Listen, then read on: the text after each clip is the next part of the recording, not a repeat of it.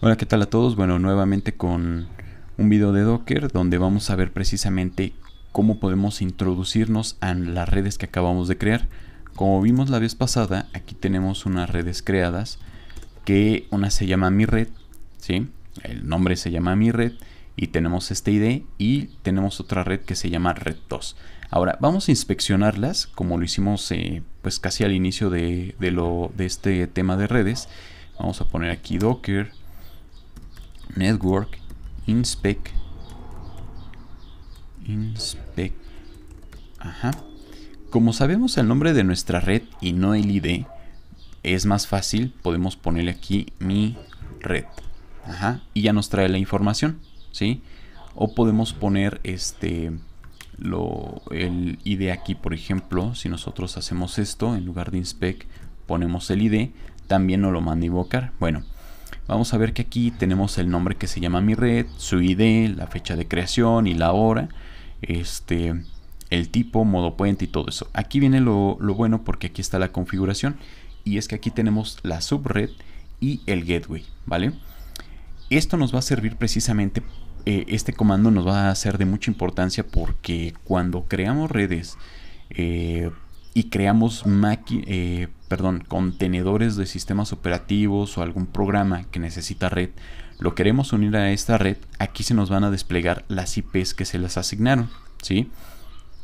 Eh, aquí vamos a ver la otra que se llama red 2. ¿sí? Si recuerdan, le pusimos un segmento de red de, bueno, de estos dos primeros octetos, que es el conocido 192.168.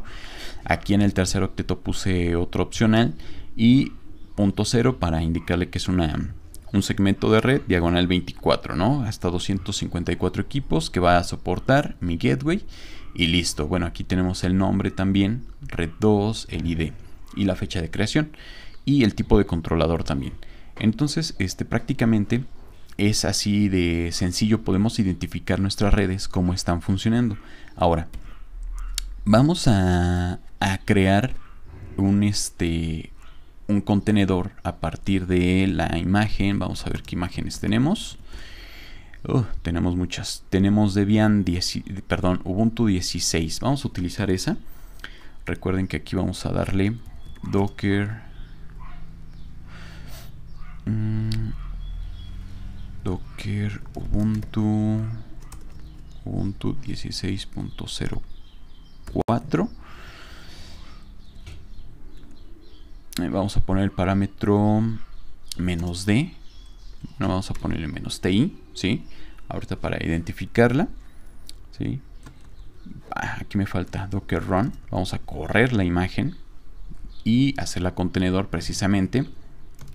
Vamos a ponerle un nombre que se llame este uh, Ubuntu. Ah, perdón. Ubuntu prueba red. Ajá.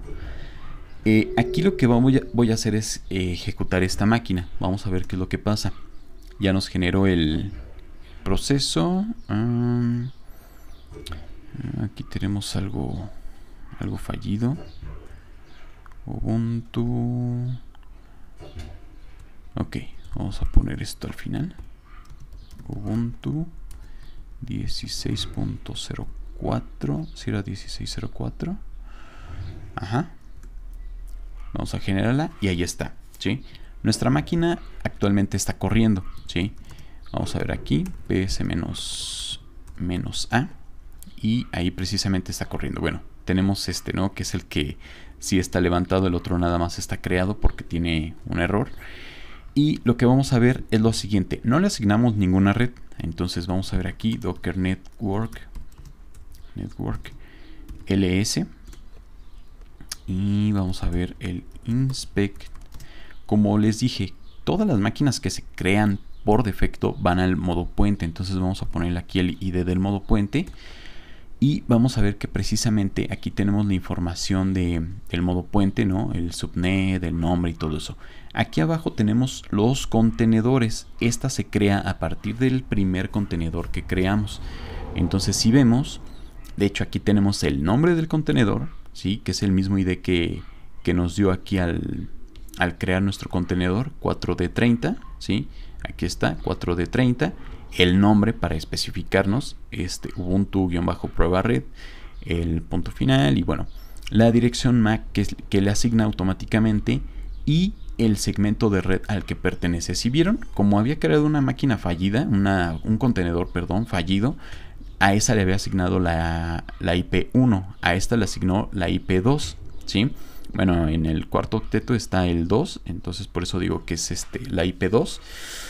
Y en el segmento puente, pues recuerden que tenemos el 172.17.0 y bueno, ya lo demás en diagonal 16. Entonces fíjense que se genera aquí.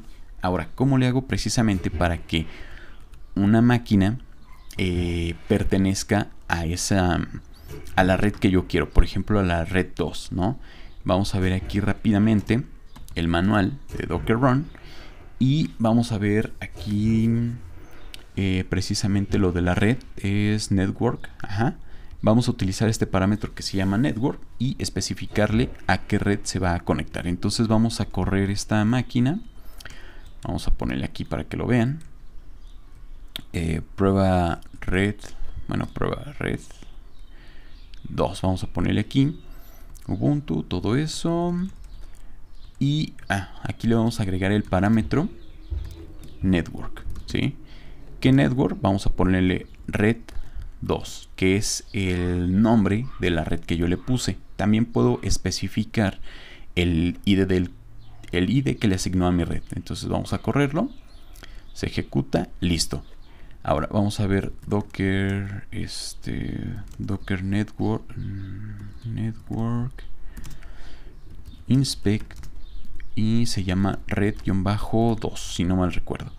Vamos a ver vamos a ver que aquí tenemos el contenedor y aquí está nuestra este, imagen. Ubuntu prueba red 2. Eh, ahí no lo asignó, nos asignó una máscara de red y le asignó automáticamente una dirección IP. Si nosotros no le especificamos, automáticamente Docker lo va a hacer porque es como si fuera un DHCP dentro de nuestra imagen, dentro de nuestra red, le genera prácticamente todo eso. La siguiente le va a asignar consecutivamente el 2, el 3, el 4, el 5. Ahora, ¿qué pasa si nosotros queremos borrar esta red, la red 2? Vamos a ver, era lo que les comentaba, nos debe de causar un error precisamente. Vamos aquí a listarlo. Vamos a poner el comando rm, es para eliminar, o sea, docker network rm es para eliminar la red. Y si le ponemos aquí b8, o red 2, cualquiera de los dos, vamos a ver que dice eh, error del demonio al responder que mientras se remueve una red, la red 2 este, con ID tal tiene eh, un endpoint, endpoint, es decir, tiene un contenedor. ¿sí? Entonces ahí nos dice el ID de esa, eh, bueno, de la, de la red precisamente y no la podemos eliminar porque tenemos aquí ligada a una red. Como vieron ya en el inspect podemos decir, ah bueno, yo es que yo quiero eliminar esa, mm, ese contenedor, eh, eh, perdón, esa red, pero ¿cómo saber que tiene los contenedores? Precisamente con el docker inspect en la red 2. Ahora, ¿qué es lo que tenemos que hacer? Pues precisamente hay que quitar la, mm, la red de ahí. De hecho, vamos a utilizar aquí docker este, ps-a. Vamos a ver, vamos a detener precisamente esta que es la de Ubuntu prueba. Vamos aquí. Docker, aquí está Docker. Vamos a primero a detenerla. Vamos a ver si funciona así. Es la 3A. La detenemos. Vamos a tratar de eliminar la red otra vez. Y listo. Al detener la red significa que la máquina se ha detenido, perdón, el contenedor se ha detenido. Y pues obviamente ya no depende nadie, nada de ella. Entonces vamos a ver Docker Network LS Ah, me falta aquí network, aquí está. Y la red 2 ya no existe. Entonces hay que fijarnos precisamente cuando eliminemos las redes. Eh, cuando las creemos, las eliminemos y las listemos. Porque precisamente todo esto se va a asignar de esta manera. Y así vamos a tener mejores resultados para cuando creemos nuestras, nuestras máquinas, eh, bueno, perdón, nuestros contenedores con el sistema que nosotros deseamos. Y bueno, hasta aquí el video y nos vemos en el siguiente. Bye.